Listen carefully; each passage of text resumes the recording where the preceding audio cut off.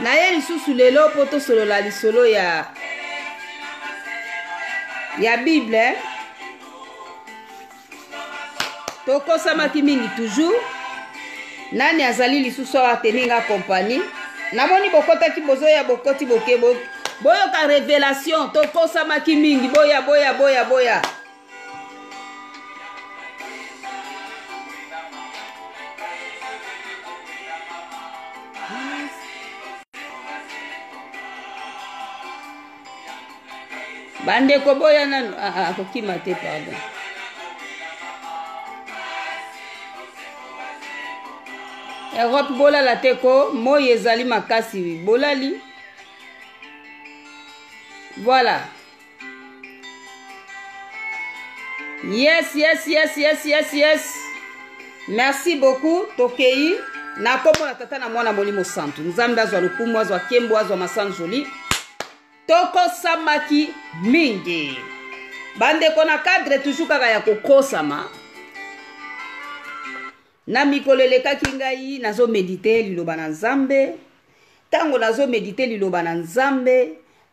ekomi ngai heure moko napema moke kolala na liloba oyo ngai na meditaki mutu na ngai eza kotourne makanisi ebele ondire bazosolola na ngai makambo milimo milimo toujours ndenge bato mosusu balobaka bia mosusu bazolota bandoto ah, bandoto bandoto oyo oh, te ozokosa eza bapense na yo he ndeko moko ya mobali ayaki kotiela ya ye makelele awa na mire na ngai ya facebook koloba ete mama feza bafrase na yo soki ya tokosamaki mingi yango eza makanisi na yo eza bapense na yo tala incrédulité ndenge esalaka bato mosusu mpo base charge na masumu moko oyo etali ta bango te oubien bazokotisa koma moto apesi témoignage na ye mpenza ndenge nini ayokaki likambo wana ya likambo ya kokosama mpe na quelle circonstance bondima yango te ah me soki ondimi yango te okondimaka nini na vi na yo okondimaka nini na vi na yo mpo toya na ntan moko babe ntan moko eza mabe nzambe eza lokola azokontele bato eh, lokola bato bazokontele bato lokola na konte ten ten ten na ngonga ta baali se bon e eh, keba ndeko tokosamaki mingi eza par révélation mpe na circonstance moko naloba mbala ebele na korepete lisusu te ondima nga ondima ngai te ndeko mobali ndeko mwasi etali ngai te moi je ne fais que parler o je ne fais que parler je dis et puis c'est bon Hein? Je n'impose personne que bon dimela ngai, bon dimela ngai te. Non, non, non, non, je n'impose personne. nazolinga kaka nalobaka makambo na ngai bolimbisa moke molunge eza makasi awa molunge eza makasi mpe yango mpe eza sulinde rezo na yoko kosala bavideo te ndenge bamisu bazoyebisa nga me mama fes ozosala su bavideo te ndenge nini mai non basalaka soki message ezali mai na molunge oyo elekeli biso donc ozomona mpenza ke otoki otoki oza ata na moyen ozala lese eza te tolingaka bie mwa malili moke ezopesa ba inspiration mai banda moi etungi ezotumba biso awa moyen te mai lelo nzambe ayokeli biso mawa bapesi biso mwa température moko ambiante ndenge balobaka mai en tout cas na butu molunge eye toyebi te pourquoi alors bandeko nazalaki na mikolo elekaki ngai komedite toujours kaka na cadre ya esprit oyo ya tokosamaki mingi pendant ke nazomedite isoro ngai nazalaki komedite ezali histoire ya roi oyo tobengi na bible na nkombo ya roi salomon salomon roi salomon hmm? ye mutu nazalaki komedite sur ye alors pendant ke nazomedite sur l'histoire ya roi salomon bino moko boyebi na cadre ya esprit kaka ya tokosamaki mingi ndenge papa kimbangu alobaki botanga bible bokokanga moyibi na eloko oyo bayibaki alors ntango toza kotanga yango tozotanga yango toujours na, na esprit wana ke finalement ndenge baloba ke histoire yango eza loka bayiba mais quel rapport na histoire ya afrique eloko nini eza ya bayiba eloko nini bayiba te et dès l'instant qu'il y a une idée qui arrive bu tozo prendre note na bapapier na biso mpo na korevoir yango lisusu na ntango moko ekoya nzambe azwa lokumu alors ntango nazalaki sikoyo komedite histoire ya roi salomon bandeko bokoki kondima te mpe eza toujours koloba mpe makambo oyo tozoleka oyo ya baindependance elekaki awa mboka esengi pardon na tata nzambe na bamakambo ebele ebele mais tocomprendre ke non congo par exemple rdc eza mboka moko eza tetu mboka moko eza tetu balingi na bango koyoka te balingi na bango kozala na mwa ekomikitisana te mpo na kosala makambo na lolenge moko oyo ke motema na nzambe esepela me baosala yango na ndenge na bango toyebi te pourkui me nzambe asala ngolu na ye bandeko na ngai pendant ke nazomedite histoire ya roi salomon kosilisa ngai nasilisi komedite histoire ya roi salomon na prepare priere na ngai nabandi nalala mai lokola nautaki komedite histoire ya roi salomon vous savez eloko nini efasinaki ngai na histoire ya roi salomon ezali d'abord un boyebi bino moko bavanta na bible keno roi salomo azalaki très sage roi salomo azalaki oyo na temps na ye temple etongamaki alors ke tata na ye nde moto alingaki atonga me nzambe apermetaki ye te ye atongaki temple mpe alobaki ke nzambe mimonisama na kati motu to akoyaka na esika oyo boleka na koyoka mabondeli na ye ainsi de suite roi salomo aza mpe lisusu na particularité moko lisusu ezali ke azalaki roi moko azalaki très sage sagesse na ye renome na ye etambolaki mokili mobimba opoke bato bazosala bakilometre mpo baya koyoka maloba ya roi salomo na ntango wana televizio ezalaki te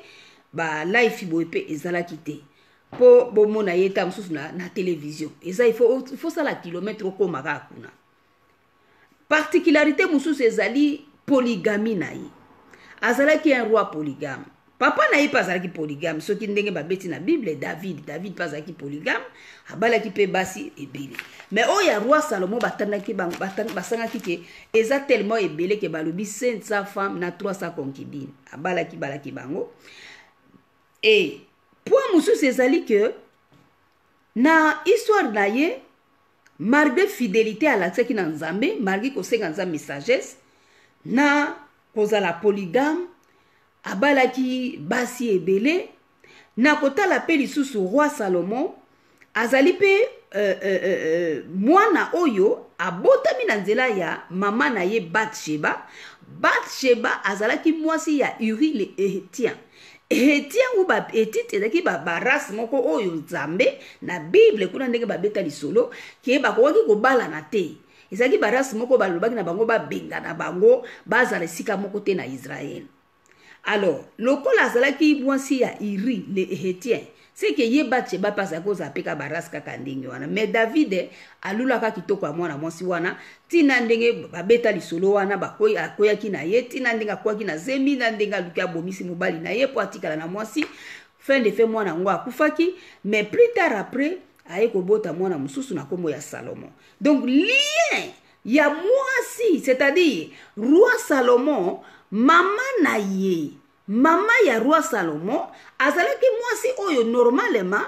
ce n'était pas ye mpenza nde mutu mwana na ye akoki koherite au trône normalement azalaki mwasi tala kaka circonstance yango ezalaki lokola eh, donc circonstance moko ya bamagui ya banini banitu konso mwasi akoti na kati ya makambo wana bu mpe un temps mpe cour royale mpe bu mwasi yango mpe afandisami bububu baninga basi mosusu akutaki wana me ye aye ti ekomi ke mwana na ye nde azwa héritier du trône donc le lien ya mama ya salomon na histoire wana mpe eza mpe une particularité à retenir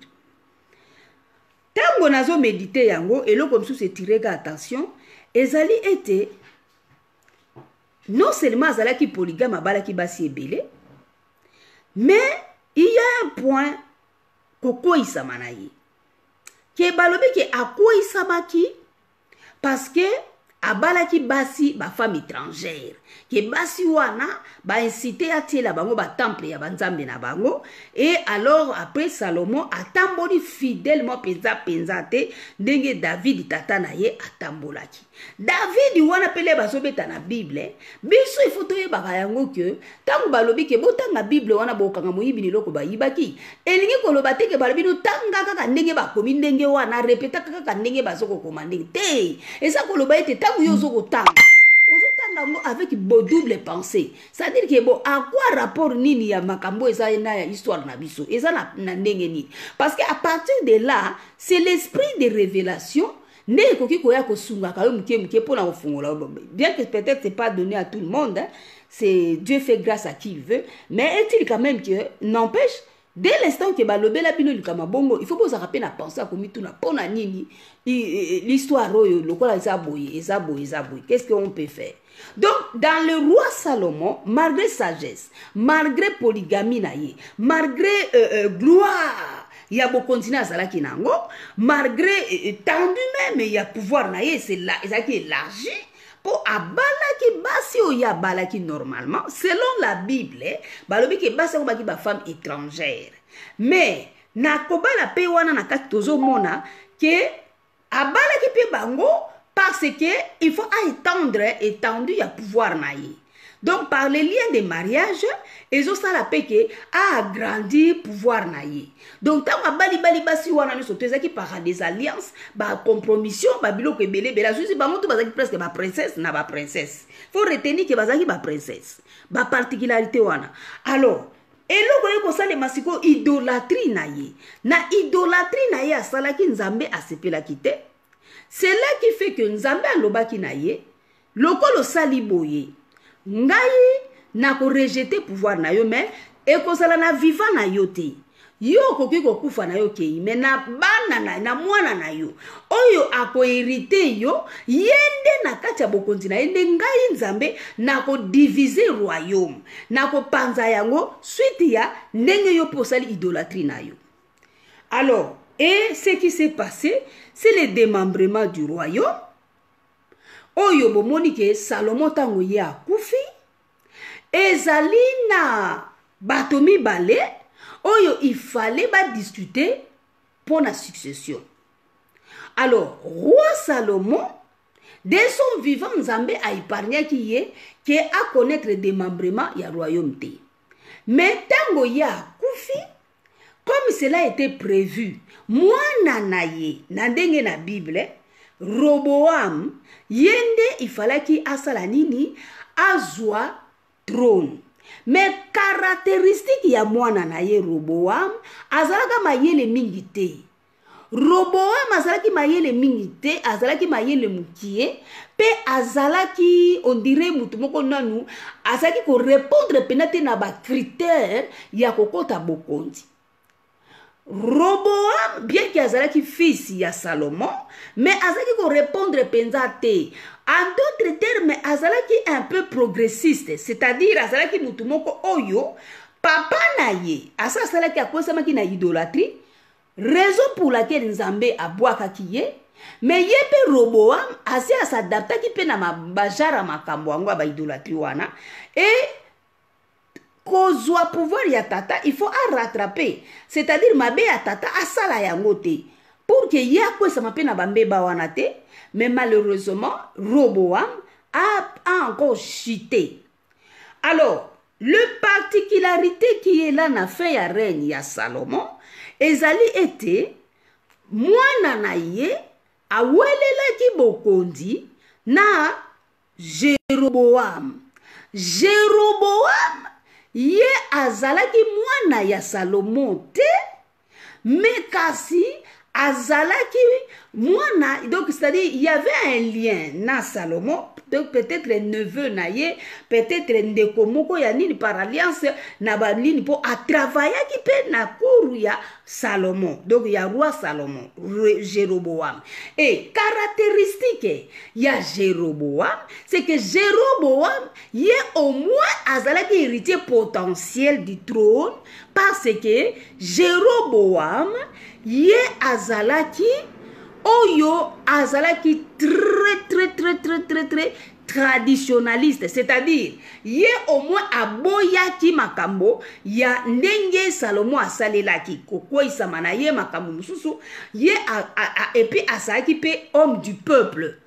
azalaki un homme du peuple c'est-à-dire peuple nde ezalaki kosepela mingi na jeroboam jeroboam azalaki mwana ya salomon te mais héritier potentiel par rapport à ses capacités par rapport à ses potentialités mais roboam mwana ya salomon azalaki koremplir bacritère mingi mpenza te mais bon Qu'est-ce que vous voulez lokola ye azali mwana na ye voilà la raison pour laquelle fallait kaka azwa kaka pouvoir e nzambe ayebisaki salomon ke na du vivant na yo nakosala yango te mais na mwana na yo nde donc le mwana ozwa pouvoir mwana na yo akomona ke schisme kokota na kati ya reni na ye c'est-à-dire ke ye te ke ye azozwa pouvoir pouvoir na ye ekozala divise donc mboka ekokabwana 10 tribus ekokende na jeroboam jeroboam oyo azalaki homme du peuple jeroboam oyo azalaki eh, na influence ya peuple mpe ye azalaki radical par rapport ya position ya salomo na binzambinzambi akotisaki wana na nzela ya basi na ye ndenge balobaki na bible wana e Euh, euh, euh, mpe euh, azalaki mpe na basoutien ya bato ebele banotable ya banani ebele donc ye nde azali na hérité potentiel ya trône mais pouvoir eke na roboam mwana ya salomon e nzambe apréféraki eke salomon au moins malgré a rejete ye mais a garde bango quand même batikala kobatela jérusalem c'est-à-dire babatela euh, euh, euh, euh cité sainte wana hein? donc babengaki yango juda hein? juda ezalaki kaka deux tribus capitale jérusalem donc au moins roboam atikala ko gérer quand même eh, coin wana parce que c'était le coin qui était plus sacré c'était le coin qui était ezalaki vraiment oyo cité euh, ya, ya, ya david esika wapi nzambe asalaki alliance na ye alors ntango sikoyo schisme ye salomo akufi roboam azwi pouvoir il s'est passé quelque chose ntango roboam ava azwa pouvoir mama na ye connaissant déjà rivalité oyo ezalaki déjà existentielle il y a eu un indice un indice une indice moko boye ekoki kokamwisa bino ntango bokotala yango meme na histoire que salomon alingaki adestabilise jeroboam de façon à ce que azala obstacle te ya pouvoir ya mwana na ye roboam e alingaki abomisa ye eh, jeroboam akimaka balobi akimaki na egypte alo ntango salomo akufi nde ye ayoki sango wana ke salomo akufi eke effectivement préparative ya moto akoremplace na trône nde jeroboam ayaki na bato na ye bato bazosoutenir ye ti bayaki e alors mama ya roboam oyo azali na image donc mama ya roboam c'est-à-dire effectivement mwasi oyo ya salomo abalaki parmi basi ebele na lune d'elle ya bana na ye moko ye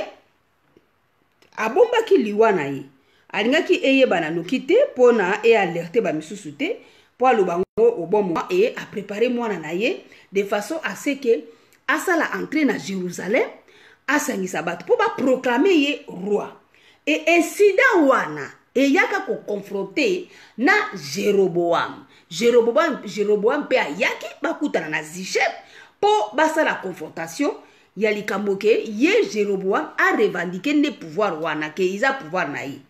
alors bapesaki ye condition bayebisi roboam yo mwana salomo kasi ozongi ozwa pouvoir lokola ye okokota trone toboyi te mai lokola ye okozwa eloko tosengi na yo tala papa na yo apesaki biso ba, ba, ba, bajoug très dur bajoug amare donc baimpôt atasaki biso baimpôt ebele yo pe luka allege biso tosala biloko moko ya ndenge wana babeti lisolo na bible mais ye euh, roboam ayokaki yango mais adurcir motema na ye baconseiller ya papa na ye ayoki bango me abwakisaki baconseil na bango akende kosangisa bajeune bajeune gens bayebisi ye balobi te esala boye yo mpe rendre bango encore plus dur lisusu soki mpe ndenge nini alors ye mpe aaplike yango or geste wana ezalaki pousse par nzambe pourquoi parce que ba na temps na ye mwana nzambe azali deja na kanda et il falaki pouvoir epanzana en deux c'est-à-dire deux tribus ekende kuna capitale jérusalem dix tribus ekende na ka ya jéroboam qui était censé être neveu ya papa na ye ekende kuna capitale je crois ndenge balobaka samarie alors detail ya likambo wana ndenge babeti na bible salomo euh, nani jeroboam na roboam wana donc particularité na bango ezali mpe ke roboam nde mwana ya salomo tandis que jeroboam azalaki mwana na ye te mais azalaki ndeko na ye ou neveu na ye quelque chose comme ça atravaillaki mpe na cour ya roi ya salomo alors il y a on retient l'idolatrie ya salomo oyo epesaki nzambe kanda ke atika ye mais aboyi korejete de son vivant alingi ke ntango ye akokende na nsima na yango nde na mwana na ye le akoremplace se mwana ki va subir sort ya mabe ya tata asalaki me mwana yango mpe ye mpe plus tard mpe atambolaki ne mpe ndenge moko kaka te na fidelité na nzambe mwana mpe asali idolatrie na ndenge kaka papa mpe asalaki donc nous retenons baparticularité wana et le démembrement et le pouvoir partagé en deux et le pays était démembré ou alors divisé bandeko lea nazo medite histoire yango nalobi c'est vrai que roi salomon azalaki quand même motu moko eh, bavante na bible c'était un homme euh, qui était immensement riche qui avait de grands biens qui était très admiré na bato ebele et tout pendant que je médite sikoyo na milobi nga moko nalobi e eh, sikoyo histoire oyo lokola bayebisa biso ke botanga bokokanga moyibi na eloko bayibaki toyebi deja ke baroi oyo babengi baroi baisrael oyo babengi baegypte ba baroi to bapharaon ils sont censés être baroi congo ou bien euh, bakonzi euh, oyo bazalaki na, na, na royaume congo la pour la plupart en tout cas na royaume congo e alors ntango nazomedite yango nafandi ya moko boye nabi e eh, sikoyo salomon oyo lokola azalaki personnalité moko ya makasi par rapport ya l'histoire ya ba ya africain ndenge to bazoloba congo par exemple salomon aza korepresente nani parce que aza quand même personnalité moko très important oyo aza quand même motu moko oyo ke euh, euh, pouvoir na ye idolatrie eh, plutôt polygamie na ye ezalaki quand même remarquable ezalaki quand même eh, ezokoattire quand même l'attention parce que abalaki ebele alors epuis fin ya règne na ye bato baza, baza divise alors mbala moko pense wana eyelingaki bokokanga moyibi na eloko oyo ayibaki na bibo est ce que histoire oyo ezalaka mpenza ya solo salomo oyo to ezalaka ya lokuta soki ezalaka ya lokuta to ezalaka ya solo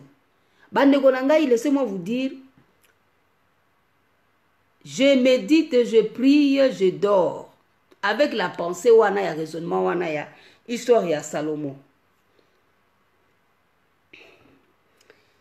mbala moko na makanisi kaka na kati ya pongi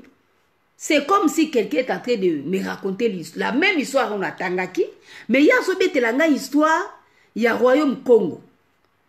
azobetela ngai histoire ya royaume congo tozosolola voi moko ezolobela nga kaka nazoloka ngo kaka na ndoto na bi ezolobela nga masolo ezolobela nga masolo elobi me bozomona te ke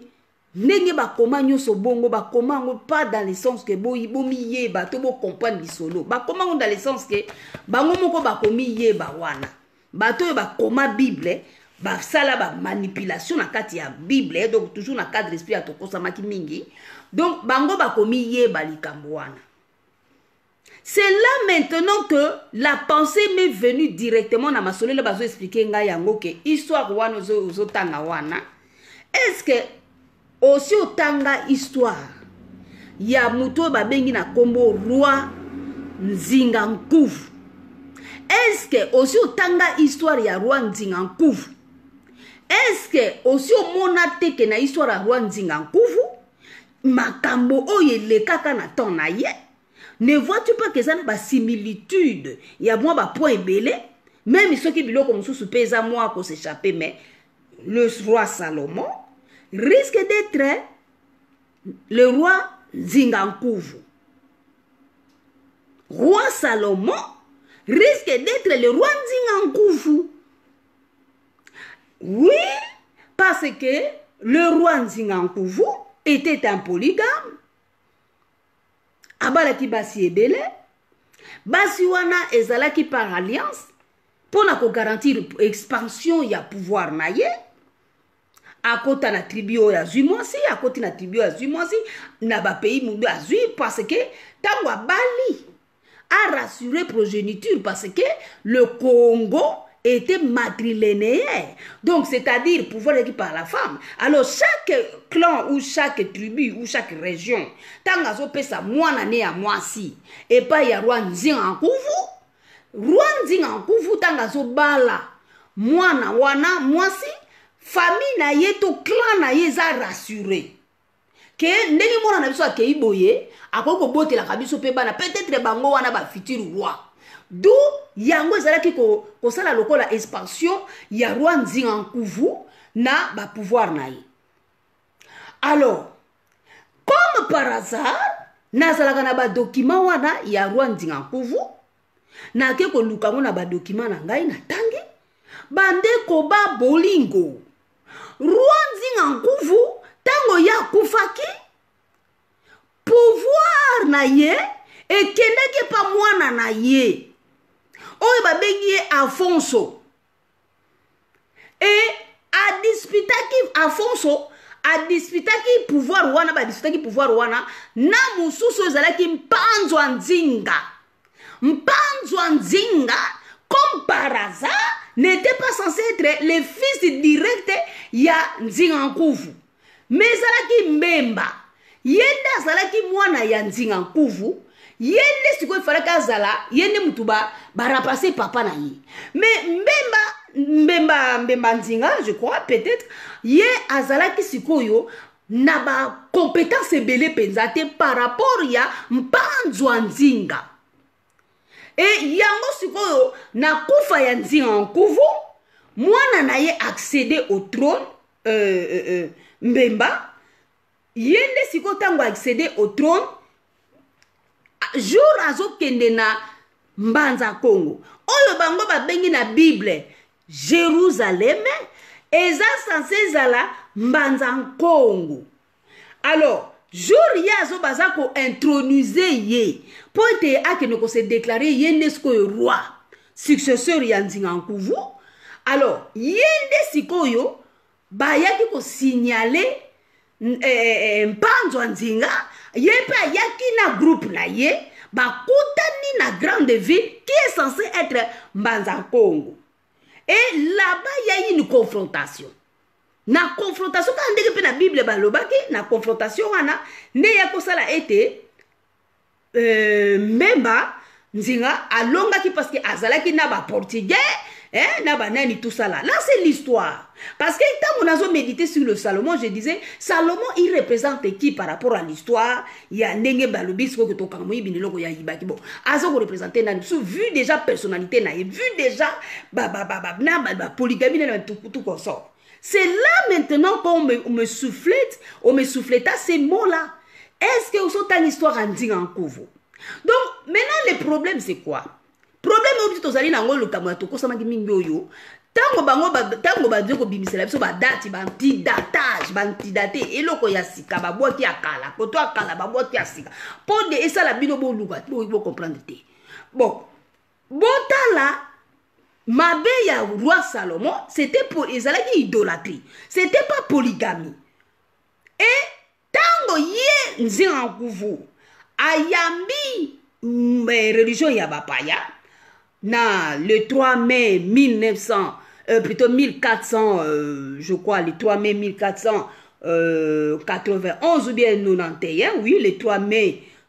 euh, 1491 c'est très important cette date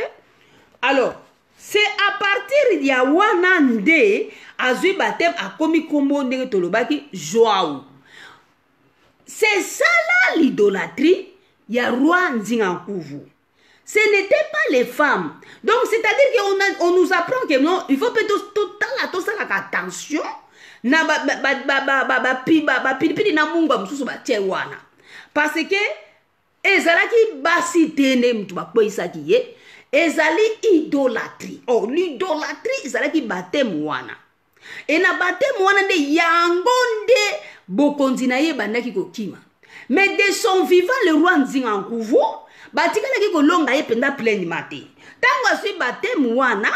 bakomaki koloba na ye te atika basi nyonso wana atika poligami atika poligami abala kaka mwasi moko alors ke ye alobi e eh, soki ngai nameki kotika bango pouvoir na ngai ekomi kosamwandrir baclan bapays wana nyonso baprovince wana to bapesi ngai bana basi na bango bakosilika donc e, ekoperdre ye bokonzi na ye voilà pourquoi de son vivant le roi ndiankuvu alingaki makambo wana tukutu te basimba koto ya poligami andimi na ye nzambe yango oyo bayelaki ye kolo jésus krist ye bokonzi na likolo tu consort andimi makambo nyonso tu consort achange mpe nkombo na ye akomi joao andimi nyonso mais oyo elaki ya poligami ayebaki ete en tout cas c'est comme si mpe andimaki ne kaka de point de vue politique mpo na kaka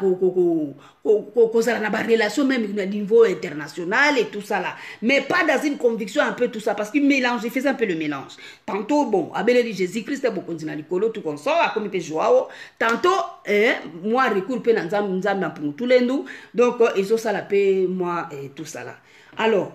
mais bandeko na ngai vous ne pouvez pas bokoki kozala na idée te mpo na komona badetail oyo ezolanda na ndenge wana de mpo ya koloba ete donc bible salomo wana ye wana nzinga nkuvu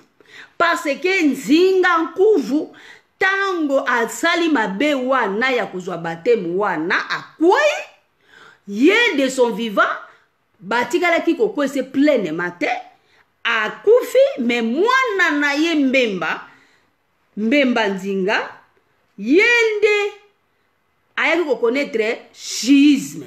badetail moko ezali ya bokokobondima yango te jeroboami na bible balingaki baboma ye na salomo mpo amonaki rival potentiel ya mwana na ye e na histoire mpe bokomona ke balobi ke mpanzo anzinga lokola azalaki influent mpe balinga mpe babome na nzinga kuvu atindiki kutu yeke akende kogere gouverneur ya nsundi province wana très important de par l'histoire oyo euta baroi mingi baza kobima kuna alors bandeko bokoki kocomprendre te comment dans l'histoire ekoki kokokana boye sikoyo c'est-à-dire que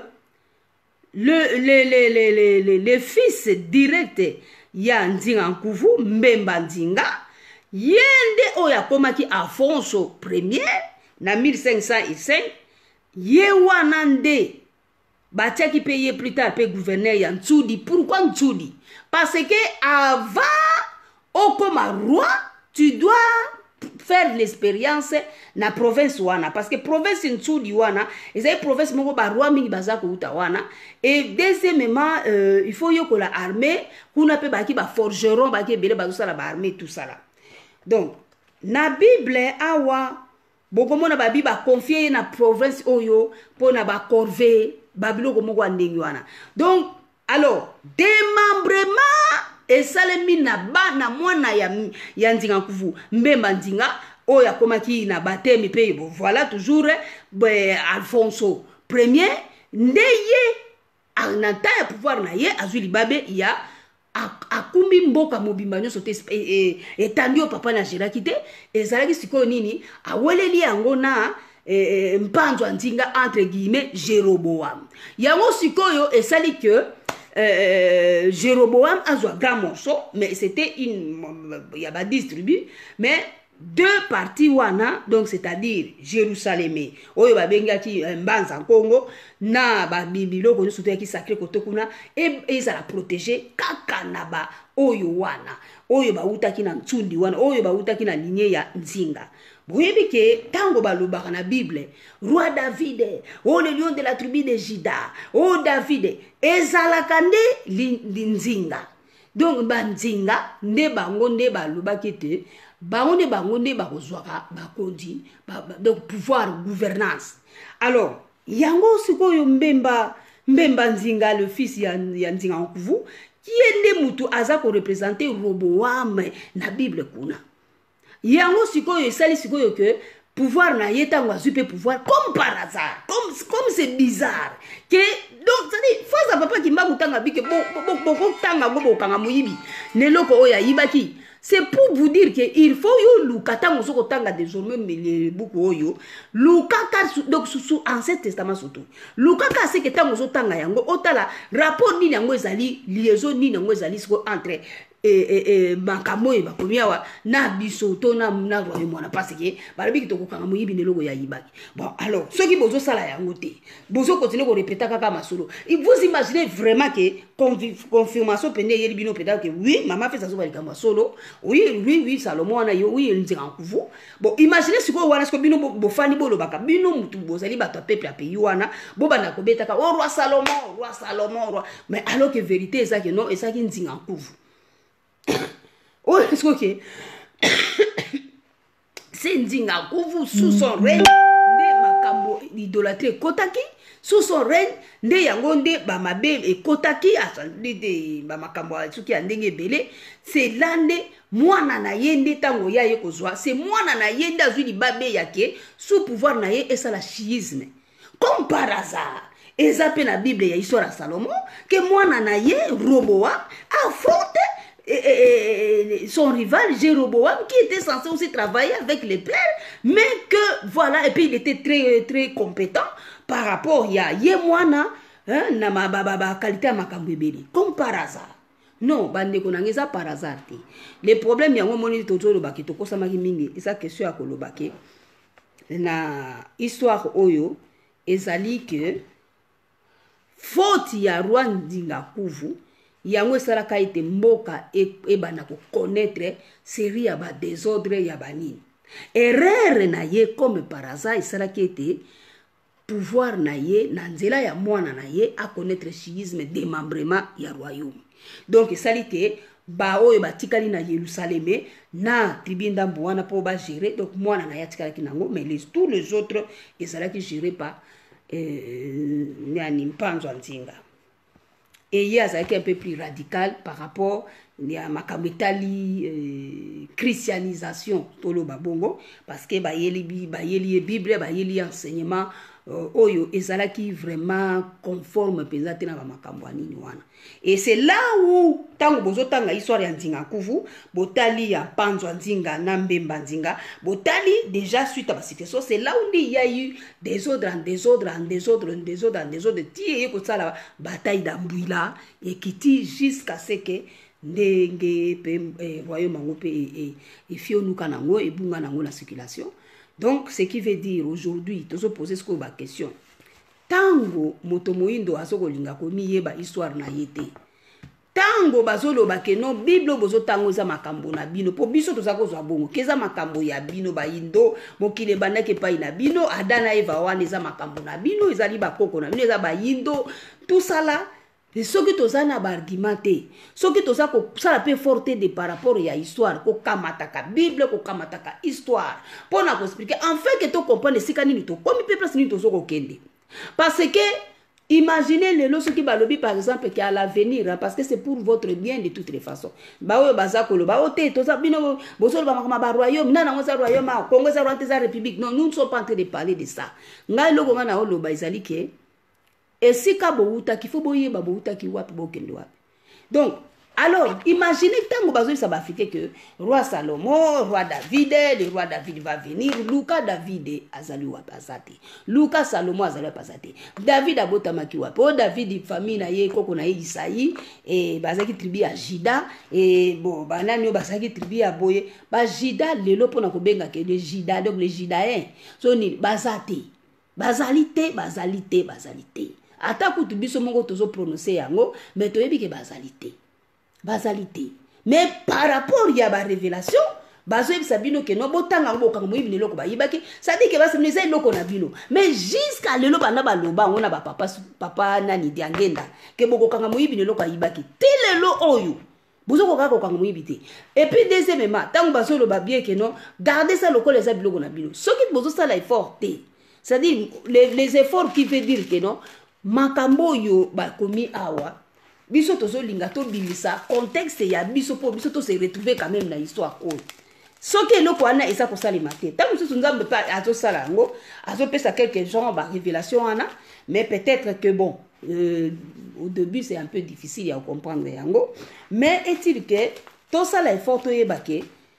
israele ngai nasilamisaka bino yango na 2017 nalobi ke israele oyo sikoyo ezali moderne wana te biso mpe toza israele te mpo soki bolobi boza israel boza baisrael israel eza kuna me congo oyo eza na koloba na bible oyo ya bible wana nde yango nde yango yango nde mboka na bino yango bazobeta masolo na bino yango wana donc une façon ya koyebisa bino kaka ke basa soki bakombo eza un peu modifie tout consort donc bozomona meme ke bible balobi ke no yorai basali bible exclusivement pour l'afrique sikoyo bible pour l'afrique sikoyo topo tosala nango bible pour l'afrique eza seke bayebi ke non o biso ifo topesa bango oyo po oyo lea babana kotanga yango ils vont pas se retrouver mais malgré bacode nde balobaka matema telangisa quelque chose malgré bacode biloko ekobima bon lundi qui m'a dit bon lundi Tosi, bon lundi Ben Boueme. Voilà, donc c'est ça. Il faut faire l'effort de comparer ça. Bonsoir la bomba, la bomba. La bomba Smith, bonsoir. Voilà, donc euh, voilà cette révélation. Nzambe asunga biso pona kosala ba effort. Alors, foti wana, bomoni bien que na histoire ya Salomon, ndenge esalaki demembrement na nini na ye comme par hasard mpe esali demembrement na, na nzinga nkuvu na mwana na ye oyo efalaki ya hérité nde mwana nde azwi libabe wana yake na pouvoir na ye sikoyo mboka ekabwana e na bible mpe elobi ndenge wana donc chers amis laissez moi vous dire que il est temps tolamuka mpona kokomponaka makambo wana Donc c'est un peu ça, c'est ce que je pouvais vous dire, excusez-moi, je voulais un peu me moucher. Voilà, donc euh, eloko na kokolo na bino wana nakomi na suka na nga ya message ezalaki kaka mpo nafungola bino eloko oyo ya roi nzinga nkuvu roi nzinga nkuvu buzo betise asalaka c'est vrai il était un roi mais Euh, ye wana nde ba s'inspiraka meme basala film oyo babengaka yango ya king kong parce que azalaki puissant en tout cas azalaki fort puissant fort prospère euh, royaume na ye ezalaki sous forme d'un empire hein. il était d'ailleurs il avait le titre d'un empereur le titre d'un empereur parce que congo diantotela ezalaki comme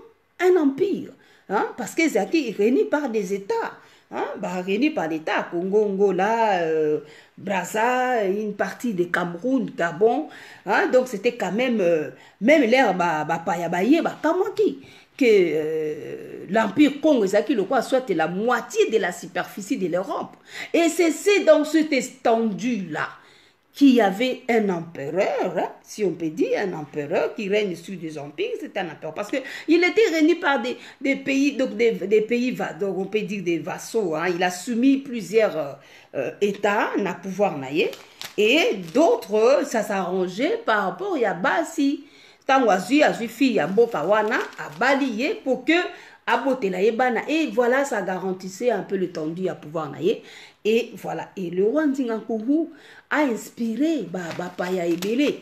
au point que bavantaka meme diego kako ntango amoni rene na ye afandi panda une année aétudie makambo nyonso tu ake kopesa sango alobi aa ah, ah, ah, ah. en tout cas royaume wana na makambo tu ndenge ezali tout ça donc euh, c'est fabuleux ba, ba, ils ont un dieu baza meme na cube baza donc ça dit il y avait tout tout tout tout tout, tout. mais oya bateme wana nde esali ete ebungisa ye e voilà akei donc ozomona mpenza histoire sikoyo na bible baye kolakisa keno salomo abalaki basi 1000 femmes basi wana bazalaki baétrangère baconduire ye na nini non wana eza ndenge bible asali bongo mais parce que ah, nzambe merci parce que normalement but eza ke soki tomeki komitika yango ndenge eza boye donc eh, bakocomprendre ke toza mabe biso nde toza mabe yango soki fo babwakela libabe ke pa basi abalaki basi ya étranger etusa non parce que comment pouvez comprendre ke roi salomo kaka ye ntango ye sikoyo akei mwana nde oyo akozwa trone mbala moko mwana wana aconfronte na, na, na, na jeroboam e badisite mpe démembrement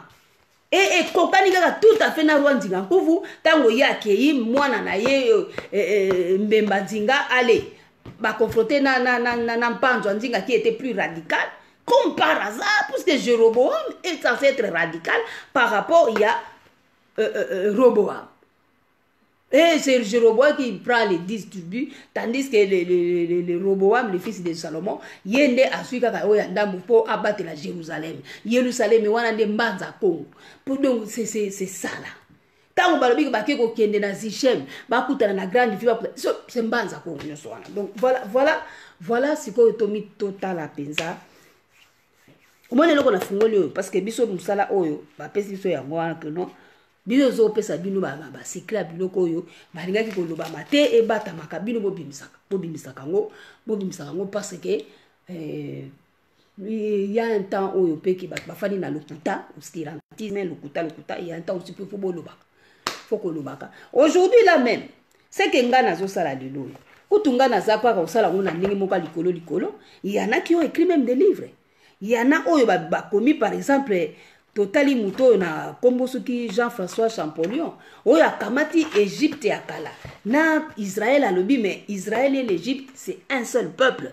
a démontré yango que ça parle que simplement d'un seul peuple d'où vient ke akomi nango ndenge wana ce sont des enquêtes des analyses c'est là où il a compris que ah mais bazaka peuple moko mais comment sowa peuple moko bon egypte kuna tokanisaki ke baa mindele babimi bato mwindo israel kuna mpe boye bapre oyo oh, bato mwindo donc d'où on est en train de parler de quoi donc on vous aide même par bato wana ke eza makambo na bino mais mpo boyeba yango hmm, baaventure oyo esalemaki awa parce que ça a pris du temps pour que bato bacomprendre que finalement l'égypte antique était des noirs et que nini mpe eza mpe kaka bayindo c'est maintenant que balivre ezokomama ezodénoncer malheureusement c'est pas bato nyonso to baotanga yango baafricain surtout bacongolais baka na paresse wana on aime pas trop lire toza na culture ya lecture te mais biso oyo tozosala befort na baculture ya balecture ntango ozotanga yango ozomona te ah bon donc finalement makambo tozoloba il y a des gens qui étaient peut-être en avance que badénonce par exemple israël wana nani égypte que non eza kaka même peuple finalement ça, c'est, c'est, c'est, et puis badénonce bien avant c'est pas maintenant hein? donc ntango balobi kisikoki eza meme peuple cetadi quoi cetadi bazoloba kaka peuple bayindo bayindo kaka bango donc le baoloba egypte antique seki avait fait la gloire de l'egypte antique ezalaki royaume koo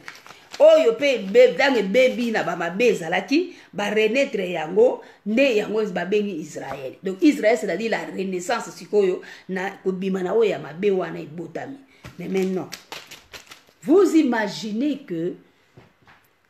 soki batieli bino salomo luka salomo luka famille ya salomo luka bajida ti lelo ekomonana te ekozala lokola ongeli swa moko bakosa mais dès l'instant ke bodekode yango bolobi ke eza nzinga kuvu c'est là bokoloba oh mais salomo est censé vivre des années longtemps euh, nzinga kuvu c'est c'est voilà comme on a donné là 15e siècle ou 13e mais voilà 13e siècle ou 15e siècle me eza mpe makambo yango bayebisaki biso mpe keno makambo mosusu mpe eza nango mpe badati mpe bantidate eza badati mosusu ndenge batieli bino wana eza kaka baselo bacaprice na bango mpo nayebi te bandeko ba bolingo parce que comment vous pouvez comprendre na armere oyo babengaka na armere nimi kongo wana to nimi lukeni nimi la lukeni abandi kan selon l'histoire balobi ke na 13e 13e siècle kila afonde royaume congo ni minuke ni ye wana oyo baegyptologue babengaka ye narmer qui est censé être le premier euh, pharaon or oh, sikoyo yo moko tala sikoyo soki balobi ke narmer ni mikongo ye asense être le premier pharaon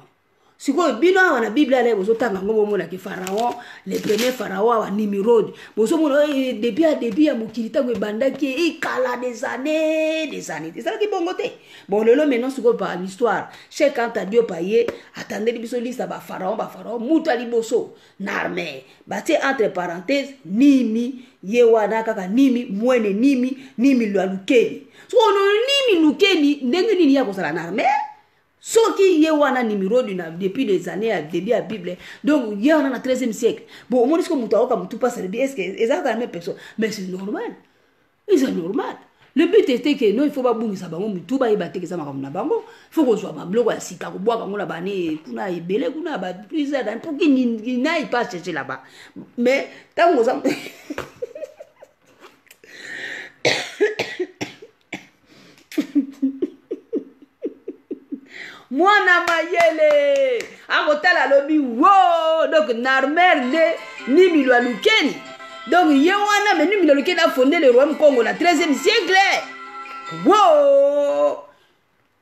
nde esika mwana mayele akoloba ah,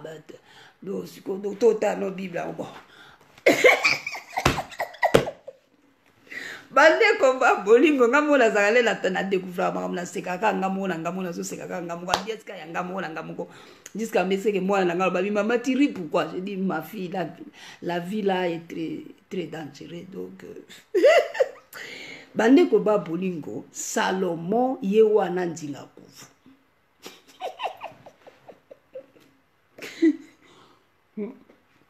alors lokola yo moto moyindo oza kotanga histoire te mhm. eh, yo moko na banda obenda filme ke awa ah, cheikanta diop abimisi keye na liste ya bapremiere pharaon eza na armee na arme ye wana babengi ye nimi, nimirode na bible ah, siko ntango otanga nimirode nimirode dès le début de genèse nimirode aza wana donc sikoyo yo sikoyo okanisa siko des années de millénaire millénaire de millénaire wo mais sikoyo na selon l'histoire balobi narme ye wana nimirode ye wana nimi lukeni nimi lwa lukeni ke afonde le roi mukongo au 13e siècle bandeko ba bolingo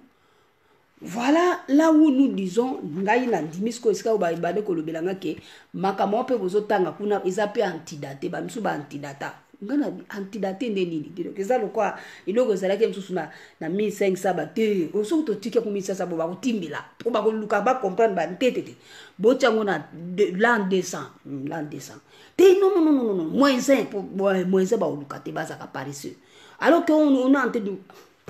bon bref laissez moi vous dire lelo tala soki deja moto lokola narmel nimilo alukeni ye wana narmel ye première pharaon bomoko bomona ke na selo l'histoire eza nango resa na ba 13e bongo salomon akozala 40e alors parce que salomon est censé venir après après lui donc comment vous ne pouvez pas comprendre que eza makambo bino bazwi bapanzi yango pour vous faire c'est moi je ngai nazoloba boye ke bandeko na ngai bacongolais oyo bozoyeba te ke makambo ezali ya bino makambo yango bozongela nde makambo na bino botanga bahistoire na bino boremettre bahistoire na bino bocomprendre ce qui s'était passé donc on est, on est en train de nous embrouber na makambo etali histoire ya rome congo nde makambo yango nde yango baza kolobelaka bato alors sikoyo ndenge ezali wana fo vous devez comprendre ke nzinga nkuvu awutaki azalaki liboso premier gouverneur ya province ya ntsundi province ya ntsundi oyo ntsundi ntsundi ntsundi ntsundi nsundi wana yango mama kipavita ebelaka bamindele ba ntango bango bayeli makambo ya mateya banini alobi nini alobi ke oh, eh.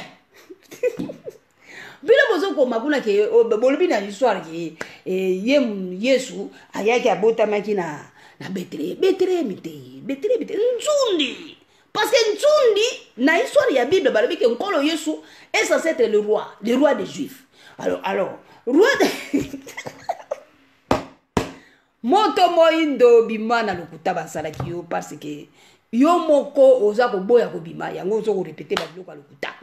donc eza kutu lokuta te eza solo mais on a fait ba, ba farine pour que vraiment c'est pas sérieux c'est pas sérieux c'est pas sérieux parce que il faut kozongisa biloko wana nyonso tuna mesa mpe bolobelela yango ngai nazokoyebisa bino libération il faut ebanda d'abord na verité ya makambo na bino koyebaki lipa ezalaki nde lipa sani ezalaki sani makambo nyonso ezalaki boye comme ça tout est clair maintenant quand vous commencez à prendre des décisions ça va suivre directement na babiloko wana au lieu de, de, de, de, de répéter des histoires eh, oyo eza biloko ya lokuta mama kipavite alobi ke roi wana bozoba nkolo yesu azali na ezalaki il est Oh, c'est cette province Nsundi, nde kuna ba roi bazali kobima kuna ba roi ebele babima. Nzinga Kuvu est sorti là-bas gouverneur de Nsundi toujours toujours. Roboam ndenge ni babeki na Bible to nini to lokola na Roboam parce que Roboam ye wana nde mbemba nzinga. Oui, parce que soki oza mayele tala kaka sikoyo ndenge nini na ya pouvoir na ye le, le pays a été démembré. Comme par hasard. kasi ye nde mbemba nzinga eh, mbemba nzinga bapesaki mpe directive ya province nsundi la même chose na jeroboame na bango oyo tozobenga mpango ya nzinga ye mpe batindikaki ye kuna kende koto ya, ya province ya nsundi akende kosala bahistoire kuna pourquoi parce que avant d'être roi il faut oyekola armée parce que na profesa nsundi na bateke babengaki yango plateau de bateke kuna bazalaki koforme baforgeron parce que kuna babebi plus tu fais des armes vous êtes fort militairement vous avez le pouvoir c'est comme ça alors tous les rois devraient sortir toujours de ce contrée là nsundi nsundi alors quand, quand, quand vous êtes en train de yakomi lobaka que jésus christ est le roi de la tribu de juda le lion de la tribu de juda vous êtes en train de dire des bêtises ezali nde moto oyo awuba bandesanda banzinga kufu wana baoyo to babutaki na province wana ya ntundi nsudi wana c'est ça lala la vérité vérité nde yango wana alors maintenant sikoyo wapi ti sikoyo tokomi wapi sikoyo yango wana sikoyo bozo komona ke eh, tata kimbangu aye sikoyo soki botali tata kimbangu na selon l'histoire awuti na royaume mpe koto kuna congo toujours na bamakambo wana nyonso tu wana Donc nous avons déjà avoir un roi qui est déjà là. Oui, un roi qui est déjà là, mais qui attend son temps. nzambe na ngai ngai biloko ya boye ezalaka so na fandi na bi tokosamaki mingi donc oh, balo bobeta no masolo na bino me babalusi na bango bakombo banima me bango moko bayebi ke wi ndenge baobenga boye finami eza nde koto oyo me moyen ezalaka te c'est pour dominer l'homme noir c'est la colonie claude zola abi c'est la colonisation oui claude zola c'est la c'est la colonisation mais meme tia la colonisation bayeli bino histoire oyo omoni mwasi lokola mama kipavinta oyo tokonore ye mémoire na ye eh, lelo komi minuit Euh, to honore mémoire na ye le 2 juillet ye mama wana ye nde aboyaki biloko oyo soki mpena mama kibavita azalaka ti lelo na ntango oyo ye mpenza aza aboyaki barepetition ya babiloko oyo parce que ezokopesa ekanda ezoyeba keno oh. Mm. koma betele ye mboka na biso nsundi profesa nsundi ou était censé être sorti de roi là-bas ebaluki ekomi beteleyeme sikoyo beteleyeme ke rapport beteleyeme na biso sikoyo yango aza koyebisa bango alobi non bleme ozoloba ye nene abete abetelemi te eza nsundi eza nsundi puisque il était censé être le roi eh? il était nene na province ya nsundi oyo oh, azwi bate na jérusalem c'est eza mbanza congo eza mbanza congo bo sikoyo ndenge nini bino bokocomprendre ntango dayo bazoloba ke non fo bokanga moyibi na eloko baye ayibaki sikoyo wapi oyo esika bino bosi bokangi ti lelo oyo e, eza te eza te c'est comme si nous sommes toujours en train de répéter ngai banda nasi na bafungola ngai miso na makambo oyo nazalaka ata nazotanga na ngai yango soki natangi na lobi bon sikoyo na cadre ya esprit ya tokosamaki awa sikoyo elingi eza nini ndenge nini awa awi ah bazodekode ngai bazodekode ngango yango nakoma kosekaseka nakomaka nazwana nasombela yango kaye mpo nakomaka badecodage nyonso tu nazokomakoma soki ngongo ebeti naloba nalobi donc jour na médite eh, eh, de salomon c'est là où je dis badescription oyo sikoyo quel rapport na histoire ya afrique salomon il représente qui parce qu'il était quand même très important moto oyo c'est lambabi nzenga nkuvu parce que c'est nzinga nkuvu ando nza bokotia na narmer te narmer lui était le mauvais il a, il a, il a quand même fait beaucoup de, de, de erreurs yango bomoni badescription ba ya fait ya makambo nde ndenge mpe esalemaki mais Nous parlons de Nzinga Nkuvu parce que Nzinga Nkuvu il était un roi très important. basalelaki filme ya king kong soki motu to atala filme ya king kong ole baloba king congo c'est-à-dire roi congo parce que azalaki puissant il protégeait il était vaillant ti kufa na ye erreur kaka po andimaki idolatrie andimi makambo ya bapaya akomi joao dès l'instant akomi joao premier c'est fini donc a, e, asi afungolaki porte yango nzambe na mawa à cause de l'alliance oyo ye asalaki na banzinga oyo bino bobengaka eh, roi david donc alobi non euh, nakosala yango na ton vivant te mais na mwana na yo nde ye nde akoconfronte bamabe wana donc akozala pouvoir ekopartage selon la bible eza bongo selon l'histoire mpe eza bongo donc yango wana tolobaki ete ifo kokamata ye na bible kokamata mpe na histoire kokamata mpe na réalité mpo boforme bo un message coherent oyo en tout cas ekosala bino malamu voilà je reçois des messages là donc bandeko merci je ne veux pas trop vous retenir et ezali kaka na cadre ya kokosama donc roi salomon ye wana roi nzinga nkuvu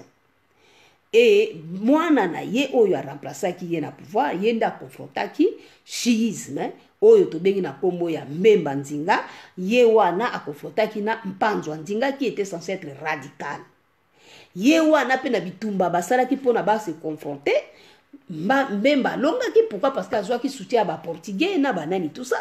tandis que Mpanzu qui était un peu radical azalaki na bato mpe ebele na peuple nsima na ye mpe na nini tout ça là mais parce qu'il était très conservateur mais malgré cela eyaki kosala ye te azwa place te mpe nzambe asoutenaki plus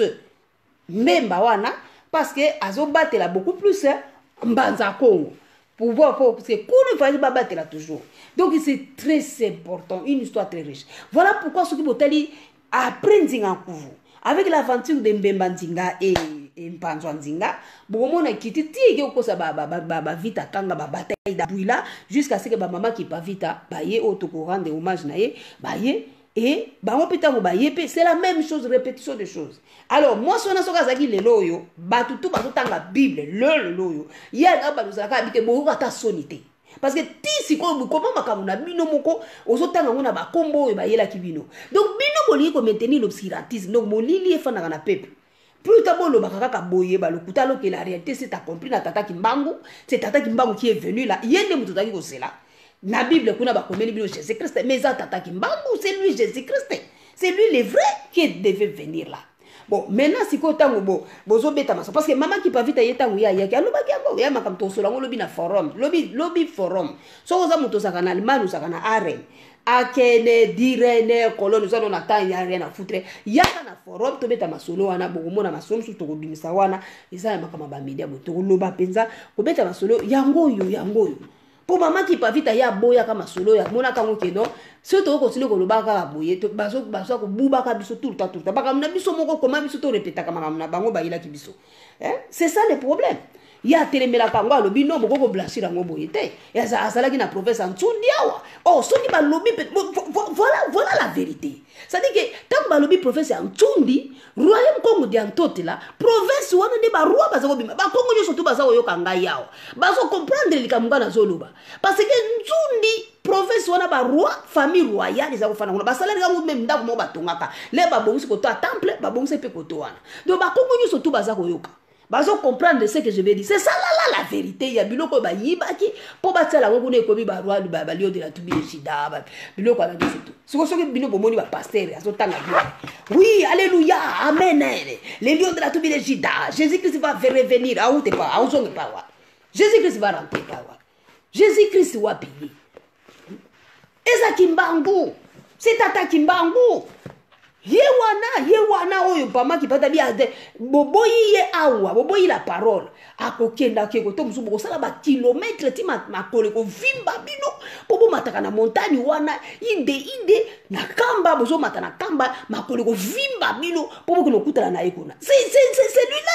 c'est lui là c'est lui yango nzoto nde enunaka te eza kaka boye ndenge afandi na ye mokolo akosepela atelemi ye atelemi mpena atelemi na ye mpo ye moko te akomonaka zela nazo kozela mpe jésus krist yango akoya te jésus krist jésus krist akoya ezalaki masolo ya bato ya bakongo ya ntotila ezalaki masolo na bango sikoyo nga naso komituna yango wana nga nayebisi bino roi salomo aza te oh il a épousé plus il était plusieurs femmes mille femmes soki ndenge nini poliga basi wana basedule ye mpo na kotya baboki libabe epa basi te libabe yaki epa basi te ezaki bapaya bayeli bango religio ya bapaya andimi azwi bateme akomi joao eh?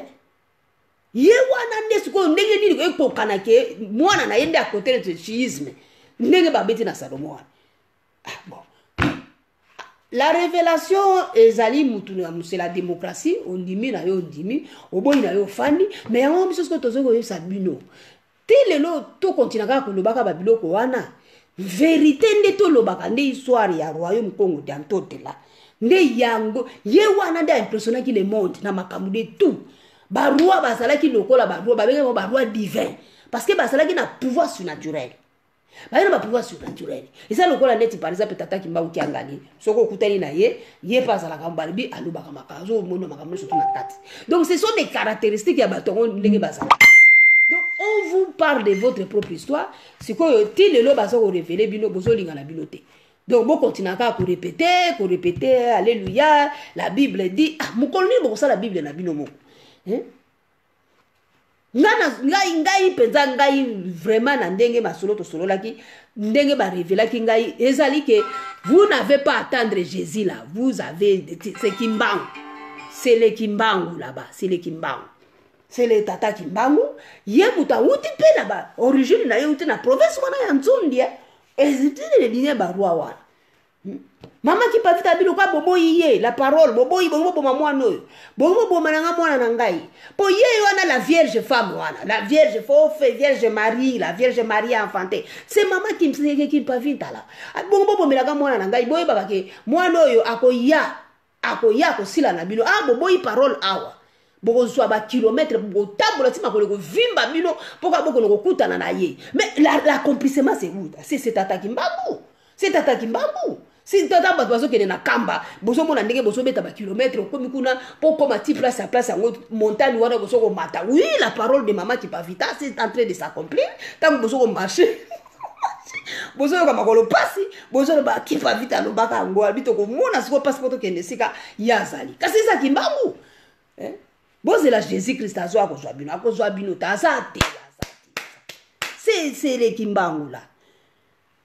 c'est papa kimbangu la tout ça là, on est en train de s'embrouiller pour rien donc c'est ça là je pouvoir se vous dire que ya ye mpo aremettre pouvoir ya bandinga nkuvu ndenge babebisaki yango ndinga nkuvu na erreur asalaki eh, l'erreur est humaine elle a fait cette erreur le, le pauvre roi le, le, c'est un empereur hein? c'était même un empereur donc bapaya baye bayibi bake kosala bango mpe bakosala empire na bango oyo oh, lelo toza lelo oyo empire romain empire, empire romain empire, empire romain c'est une copie de empire congo diantotela batriche na congo diantotela ngai nazoyebisa bino ezalaki bongo batriche na komi na kongo na tote batriche bake basali bakomi bacésar bacésar nyonso tu wana kaka mpona dise bapouvoir oyo ezalaki na afrike wana yango wana eh, bazalaki mpe surnaturel bazalaki na bapouvoir surnaturel donc esprit ya nsaku mpa nzinga yango wana verité nde yango wana biyo bolingi kaka te ka ti sikoyo kaka kolobaka kaka basacrificateur e eh, royaume de sacrificateur sacrificateur epawa eza baclan nsaku eza ba clan tsa yango ngai nde eloko bayebisaki ngai yango wana bimisa nde baverité oyo bango balinga koloba te yango yo okoloba yango yo loko oyo oza no mongala kutu eza mpena signe ya bien bamonaki oh, muya aza mokongo te masala koloba ezalaki makambo ya bakongo te ezalaki mpe makambo ezalaki nde bato ba moto moyindu bapesaki paradis na kongo dia ntotela moto moyindu moto afandaki wana hmm? Bo confronter na ba race dessus yango esali bino pe peut-être yango wana pe mitu ebeba po normalement ndenge ezali wana roi Salomon Salomon soki bozolo ba Salomon mais ngai bayebisi ngai eza nzinga nkuvwa bayebisi ngai eza nzinga nkuvwa donc sikoyo ndenge bon bref à partir ya suite ba, ba, ba, ba biloko wana na bana na bango voilà nous sommes perdus aujourd'hui là Et, bon, comme nous sommes perdus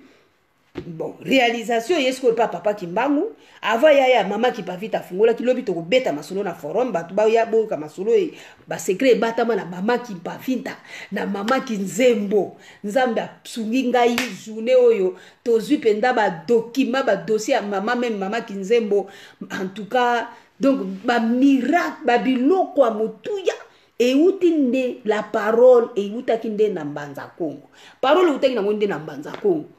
donc eutaki nango nde na mbanza kongo baboyi yango kuna edeplace mama kipavita bi ekosala bakilometre bokobanda sikoyo kotamba makolo ekovimba bino mpo bokoma sikoyo place ya nini mpo awa boboyi parole awa donc wana nani kimbangu sikoyo kimbangu ye wana aye bon tozo so comprendre te ba jésus christ wana ndenge ezokota na kati tozo comprendre te bon nkolo yesu ye wana kaka nkolo yesu ye wana kaka kimbangu ye wana ye wana ayaki nde na nkolo yesu aye sikoyo abi deuxième tour na ngai ntango akoya nakoya na nkombo ya sika Eh, po, po eza mpe bongo na parole ke ntango nakoya nakoya na nkombo ya sika eza su nkombo wana te yango na ntango aye ayenge na kimbangu te ye moto atokisi po temple wana ndenge atie wana kasi yango nde balobaki bokosala bakilometre yango wana nzembo nayesaka bino tout le temps ngelengele munzila nkongo mokongo nyonso to akende kotanga nzembo wana yango wana esakompli na temple ya kamba bon vous cherchez encore quoi vous cherchez quoi la lèvement bato bakonetola bino le problème vous oubliez qu'il fallait barestaurer mpe royaume wana fallait barestaurer bato bayindo bozonga ndenge bakutaki bino na bapaya c'est ça la la la le problème faut bozonga ndenge bakutaki bino na bapaya bozalaki empire bozalaki royaume baroi tele bazalaki wana baroyaume soki soki bakuba banani bafandaki fandaki wana mais bazalaki mpe na démocratie na bango participative batiaki badepute na bango soki mpe banani wana e empereur azalaki wana nzinga nkuvu ye azalaki wana nzinga oyo eh, aye sikoyo ya turo bobenge roi divin roi divin roi divin mpo baroi divin bakomi ebele mikolo oyo bazobengaka nga mama ngai mpe roi divin tel roi divin baroi divin baroi divin eza roi divin euti toujours kaka na meme kuna na mananina ya nsundi wana donc yango wana makambo nde sikoyo fo boyebaka yango wana donc c'est ça lokuta yango todemaske yango c'est ce grand roi là qui a fasciné le monde au point que basaleli même ba filmé euh, King Kong. Donc, c'est pour Wakolak il était puissant. Hein, il était puissant. L'histoire n'a pas bien raconté le pouvoir de Nzingankuvu. Donc, euh, il était puissant.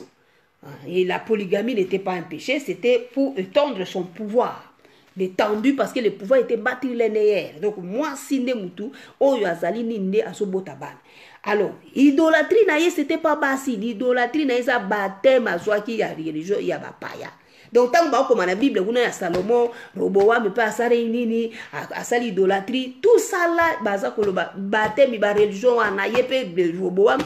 achange nkombo akomaki na histoire akomaki afonso donc yango wana mokolo bokobima na makambo oyo nde bobiki hein? merci beaucoup bolala malamu butu malamu nani susu atali nga apotre moïse omega bonsoir na yo denis muteba bonsoir george mayifula bonsoir françois mutombo bonsoir voilà donc nzambe apambola bino natiki bino na nzembo ya mama mwilu kimpovela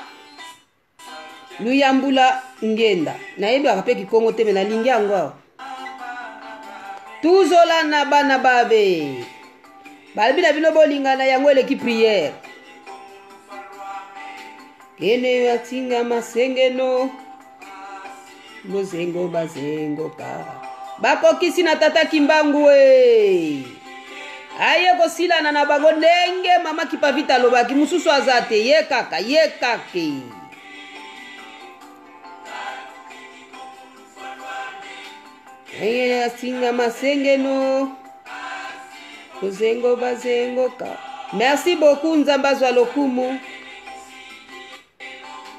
Kuzola na bana babe balobi bolingana ye eleki priere osambelaka ebele me bolingo eza te na motema ndenge nini asi okomona nzambe te soki azangi bolingo mama mwilo atika na ye kaka bana bolingana etika ebele te etumba bozali nango ezali monene bokolonga soki bolingani ye botika kokabwana botika tribalo regionaliste buzoba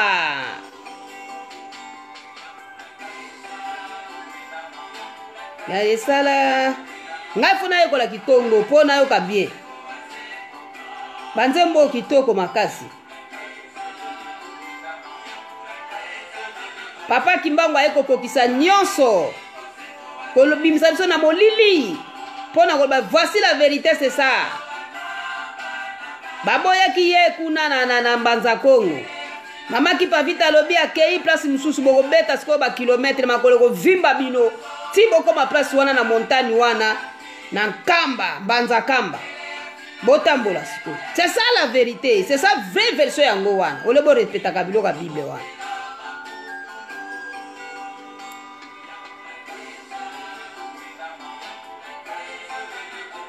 nzambe azwa lokumu na nkombo na tata na mwana na molimo santo bolala malamu oyo nazwi apareil ya ndeko akabeli ngai oyo nasepeli na apareil oyo mpo nasalaka badokima na ngai voilà bandeko nasuki wana merci bolala malamu boyebaka yango ke histoire mpe ya congo ebandaka nanu liboso bafamille après baclan famille ekoti na baprophète oyo babengaki bamwene apres baprofete bamwene nde bandi baroi ndenge moko kaka na bible ndenge ebandaki famille baclan famille apres bandi baprofete profete eye kokende baroi donc bozomona ke babi yango bokanga nini bozokosala eforte mpona nini merci beaucoup bolala malamu ingeta ingeta bolinga na bana nanga balobi mosala monene botikali na yango e